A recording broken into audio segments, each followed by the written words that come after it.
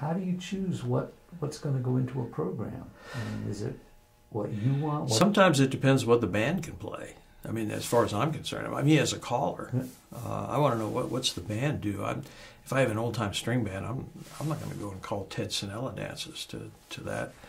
And if I have a band that's a really strong, you know, New England style band, I I I would be crazy to try to call you know Appalachian big set or any kind of really fast kind of Appalachian thing. So it's a lot just depends. Now it's true, it is fun sometimes to take a dance in one style and adapt it to another style. I once saw Chip Hendrickson do a workshop um, where he took just because the the figure called it as a straight as a patter call, did it as a New England quadrille, and did it as a singing square. You know, just to show that you could the that music the Ralph Page weekend. gave it a different uh, feeling. You know, it was. Mhm. Yeah, Yeah. and um, and I like to do that sometimes. I mean, I will sometimes call a New England style square to a, an old time tune, but I might tell the band don't play it as fast as you ordinarily would. Um, and I might I might try to take a singing call figure that I like and do it as a as a patter call, basically.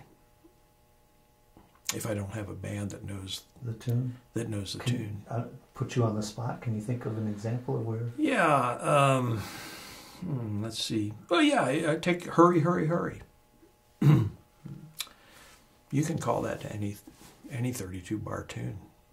Yeah, and I've done just because I've taken that figure. If I'm if I have a group of folks, uh, contra dancers, where I have a lot of beginners, and I've just taught them a contra with Ladies Chain, and I want to do something else with Ladies Chain in a little different formation, I may do take the, the just because figure and call it to an old time tune or call it to a New England style tune. If I don't, if I have a band that doesn't play just because and can't imagine themselves ever playing a singing square, which happens frequently. First of all, if I have a group of folks that maybe aren't too familiar with squares or I don't know what they know, um, the first square that I'm going to call is going to be one where you stay with your partner the whole time. So it's probably eliminates 75 to 80 percent of all New England style squares that are that where you you know because most of those are you end up swinging your corner. So for the most part, I'm going to do something where people going to stay with their partner. So it's probably going to be some kind of southern style thing. Um, now I do do one one that I do is my own dance, which is called First Night Quadrille, and I can do that to just about any kind of music. Um, but there are lots of others that are more, you know, first couple out to the right in the circle four, pick up two more in circle six, pick up two more in circle eight, Allemande left your corner. I mean, it could be as simple as that. There'll be Or- a hot time in the old time tonight. Yeah, we could do. Yeah, I do that as as a non-singing square from time to time, uh, with a basket figure. Right. Um, yeah, and and then if if that seems like you know everybody's got Allemande left, grand, right, and left, and then I'm, I might, depending on what I've taught before, will depend on if I do a singing square. If I have a band that can play for singing squares, yeah, I might do just because at that point, which has ladies change and has a partner change, so there's a dynamic there that maybe they haven't seen before. And then in the second half, if I get to do two more squares, well, then I'm I can do lots of things. so, um, but I do have a pretty set repertoire of stuff that I use for groups that are mainly contra dance groups. Mm.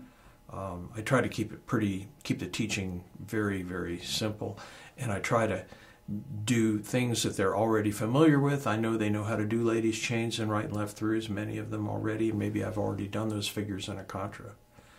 So maybe towards the end of the evening or the second square, if I do another set of two squares in the second half, I might do something like Camille's quadrille uh, with no walkthrough at all because it's all just right and left throughs and ladies' chains and a lot of swinging different people. And that's another thing that I really like to look for is in any dance, whether it's a contra or square, is what kind of interaction between folks is going on in this dance. You know, is there's a contra dancers tend to want dances that have lots of interaction with lots of different people, but they tend to like dances where you're swinging your corner and then interacting with somebody else. They tend to like those a fair amount. Mm. Um, whereas a visiting couple dance where you're keeping the same partner and there's a lot of standing around probably isn't going to be all that popular. So ultimately, what I want to do is have people say, "Wow, that was a square dance and it was fun," and have them go away thinking, "Oh, square dancing—that's not so bad after all."